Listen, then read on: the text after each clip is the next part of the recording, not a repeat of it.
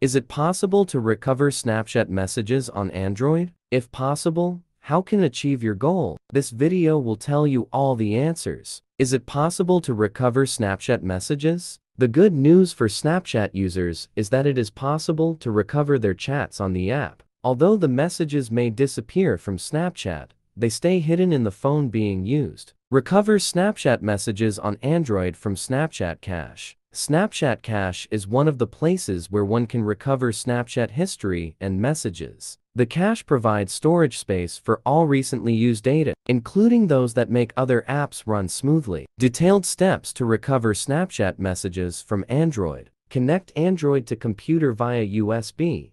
Open phone storage by clicking on its icon.